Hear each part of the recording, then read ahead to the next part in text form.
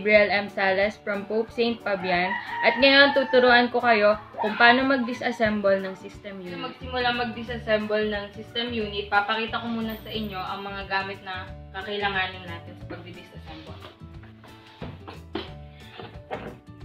Plais,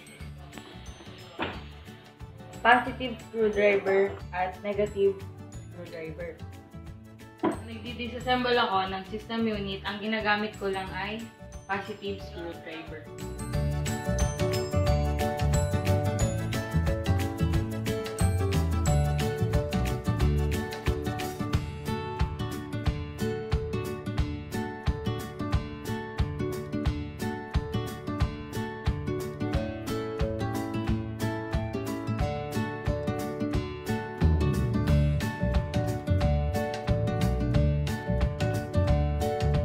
Pagtatanggal ng wire na nakadikit sa power supply, hahawakan nyo lang yung pinaka-dulo na nakakabit at back, front, front, back, front, back lang para matanggal.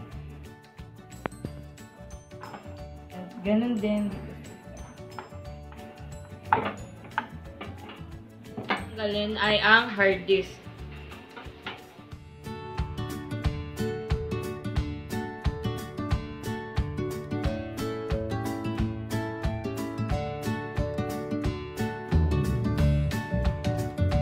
Tanggalin din natin ay ang video card.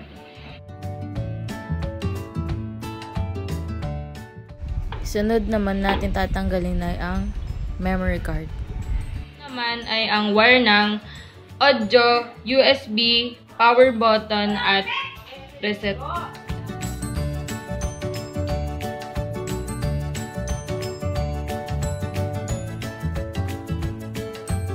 Tanggalin natin ay ang system fan.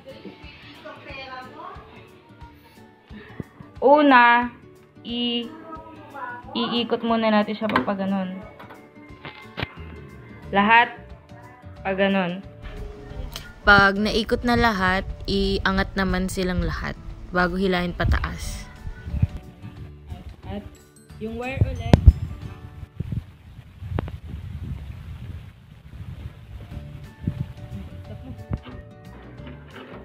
Tanggalin natin ay ang CPU.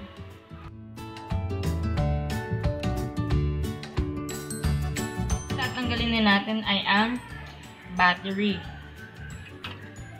Dito, kakailanganin na natin ang negative screwdriver. Easy lang. Actually, nating tatanggalin ay ang ating motherboard.